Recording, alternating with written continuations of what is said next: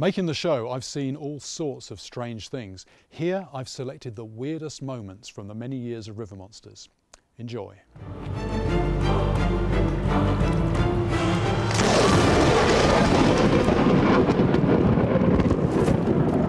Me? Should I take this off? I would, I would. Yeah? That lightning strike was right on top of the Salamone was standing in the water. He actually felt a shock. He had a, got a shock through the water. Abandoning. We're, we're getting in the boat and we're going, we're going. I thought we'd all escaped that lightning strike. The soundman on my crew didn't. Two. Our sound recorder has been hit, was actually struck on the head by that bolt of lightning. Chris, are you okay? Are you responding? Yeah, I'm good. Good, good, good, good. Right, we might need some first aid here. let's go, let's go, let's go. Quick, quick, quick. How are you feeling? Good, it just hit the top of my head. Right. We're, we're, we're, we're moving away from the storm now, so that's good. Just a very big headache Right. and a pain on Right. the hip. But I think my boots took a lot of it. What, you, you rubber soles, Thick. rubber soles, rubber soles, good. I've got a bit of a headache. James, who's behind the camera at the moment, has got a headache. I think it might have actually hit all three of us. Chris definitely got the brunt of it. I mean, very, very lucky for him. He was actually wearing thick rubber sole boots, so he's conscious, which is a huge relief. Right, we're arriving at the um, back of the camp. I suspect that the lightning bolt actually struck very close to where we were all standing.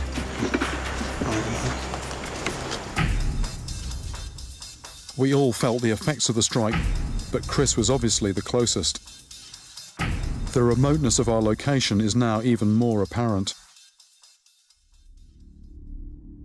But thankfully, Chris's condition continues to improve, and within 12 hours he is once more back on his feet and eager to get me fishing again. Because I'm after something with a taste for flesh, I'm going to fish with the bloodiest bait I know. This being cattle country, this is a bit of cow's heart, nice and bloody, very fleshy, and well, that should get the attention of any carnivores down there.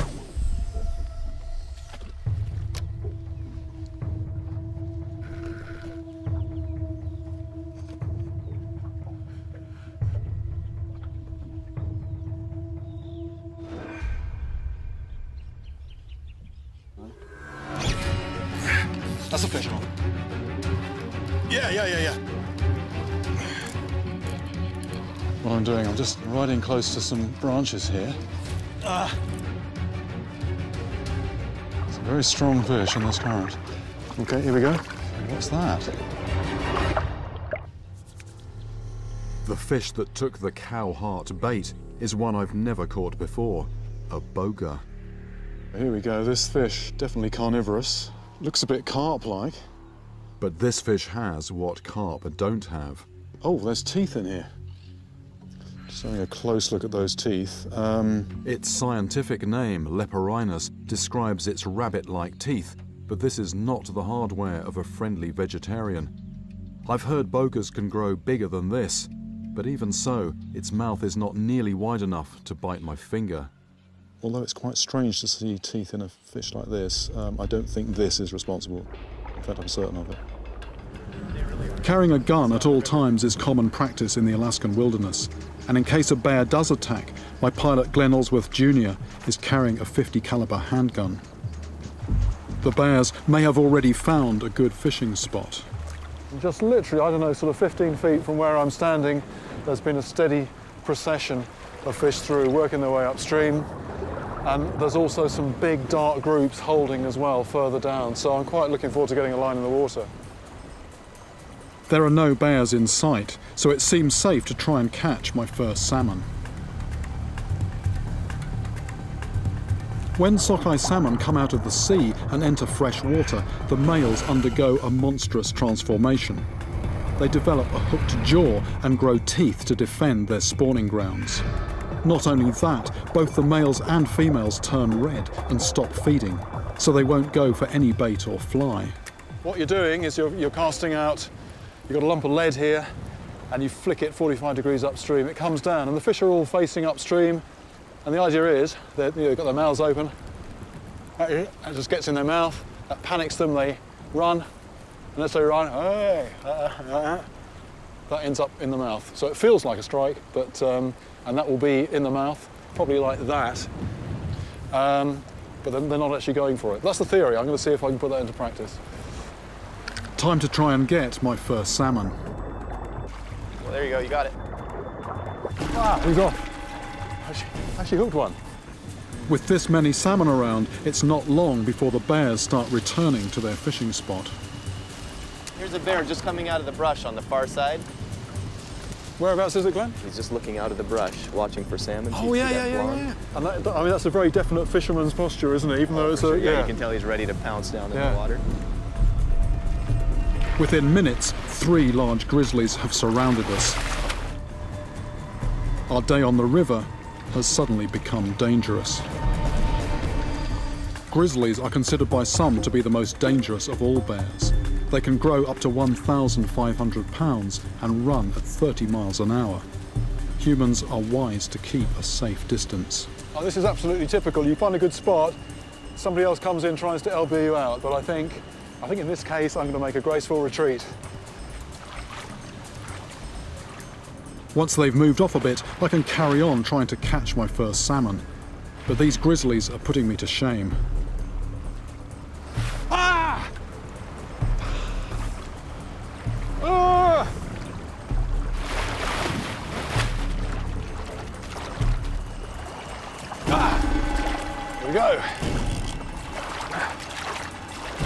Believe it or not, this is the first salmon I've ever had on the end of my line. I'm so engrossed with catching a salmon, at first I don't notice our interested onlooker. Out of the water, out of the water. Right, come. Okay, okay.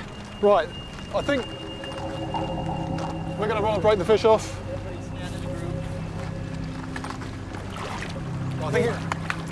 Oh, oh. No. Hey, is it on the fish?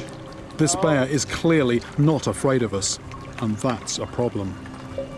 Should we just break it off? No. We're going to break the... No, we're just going to break the, we're going to break the fish off. This is a young grizzly, but although not fully grown, it could still attack and kill any one of us. You can have the fish. Luckily, it's more interested in the salmon than us. It took my fish, and a minute later, it's back for more. This time, we need to fire a warning shot. I am gonna fire away. Oh. He's getting too pushy. Whoa! No! You guys plug your ears. Just deep breaths, just calm down. It's all, all part of the, uh, the day in the life of a fisherman in this part of the world. Okay, so it's 11 years ago. It's in this very spot. Silvio and some friends were in the water down there. Ele me deu uma dose de, de eu subi, quando eu ia descendo eu vontade de urinar, só que aí eu And after a little period of time, Silvio, you know, felt the need to urinate, you know, as, as happens. He knew the, the story about the candiru, so he actually sort of took himself partially out of the water. Foi na hora que eu fui urinar, quando eu me espantei e o bicho estava entrando. While he was relieving himself, suddenly he said, you know, he just had a bit of a shock. And, you know, the first thing he knew was that the fish was already, you know, inside. Only, you know, just the end of its tail was out. Tried to grab hold of it, but it's a very smooth fish, a bit like a bar of soap. No good, you know, no success pulling it out, so basically just ran up onto the bank to try and get some help. I decide to throw a net out to see if I can catch one of these critters. Here we go. Ah. This is almost exactly what Silvio described. Uh, you know, something going in one direction and just not wanting to come into reverse at all. Look at that, I can actually feel its spines digging in when it does that. It was actually walking using its head. Now imagine that in an orifice. This fish is just leaking blood. It's not this fish's blood, it's something it's been feeding on. And uh, it is just an absolute nightmare, you know, a real sort of vampire fish, this thing. A fish like this may have entered Silvio in search of a blood meal, but little did it know that its mistake would result in an unprecedented medical procedure lasting two hours. Também não se conhece nada a respeito de um ataque desse peixe e do que deve ser feito. Concorda? The first thought was to, a bit like um, a bit like a hook that's got a barb on it. Um, actually, pulling it back the way it went in is not always a good idea. He was thinking of actually sort of coming in from the side, coming in from the from the perineum, and actually trying to sort of pull the fish out head first. But he thought that because you know it had been such a long time in there, they would actually, and also the other fish were starting to rot a bit, maybe try and pull it out with the endoscope, you know, out tail first, the way that it went in.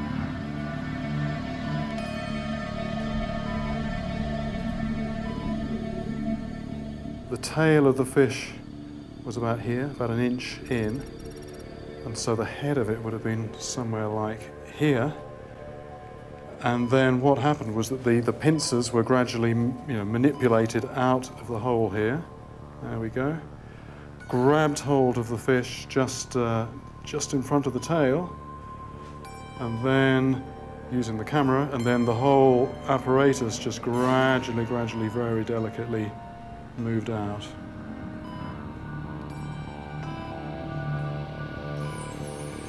Se aquela força é o suficiente para o peixe vir, sem cortar, sem partir, sem, sem danificar. Apparently, it was necessary to pull with a, a certain amount of force, but feeling that it's not doing any, any damage. Unfortunately, you know, it did, it did come out um, eventually. The fish was sent to the National Institute of Amazonian Research to be formally identified, thus confirming, after centuries of speculation, that a fish has entered a human in the most intimate of places. This is a somewhat momentous and possibly delicate occasion. I'm bringing Silvio back to meet his fish. Uh, this one. Silvio, esse aqui. Candiru. Uh, but this is actually the first time since he had the surgery that Silvio has seen this fish, this very fish.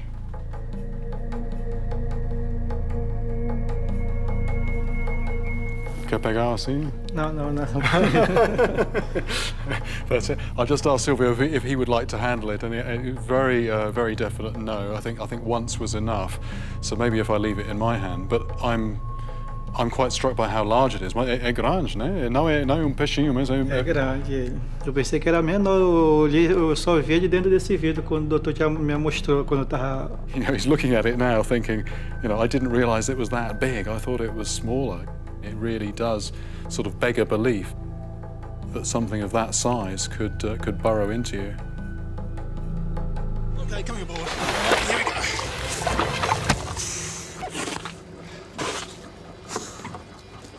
It's just flashing different colours here. Out of the water, this squid's colour flashes from a devil-like red to inky black. So this is the beast. This is a Humboldt squid.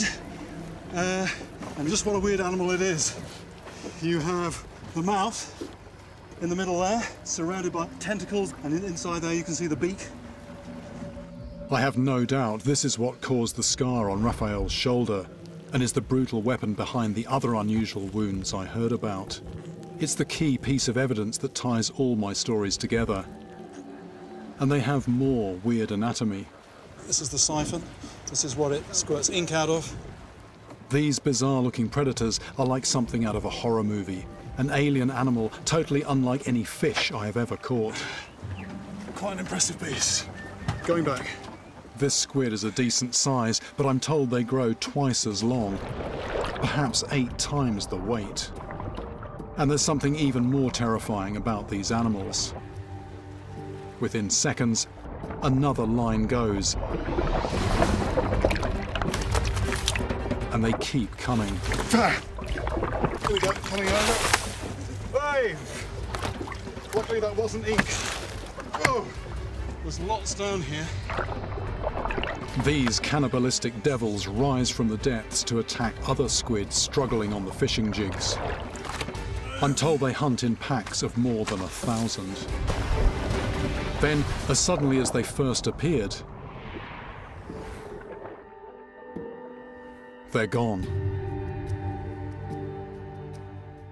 But I'm left in no doubt that these are the very same Diablo Rojo that invaded Mexico.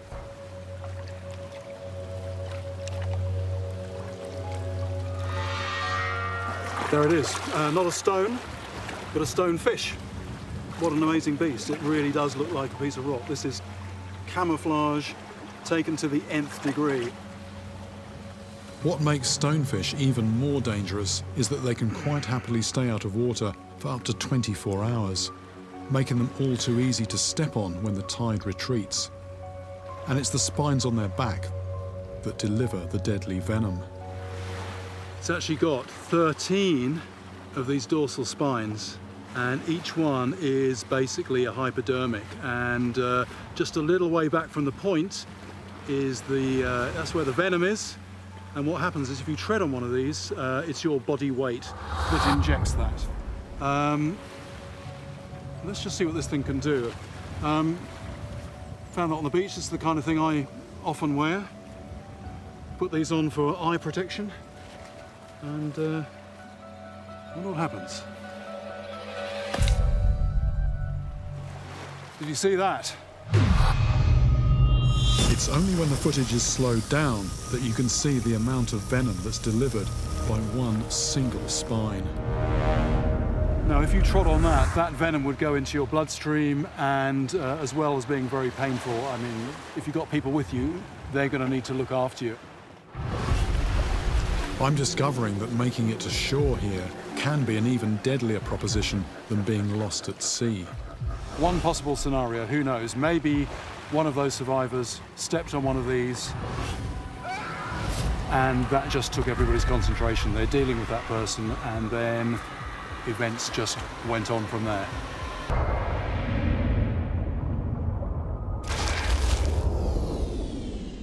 Thanks for watching. If you enjoyed this video, don't forget to like the River Monsters page.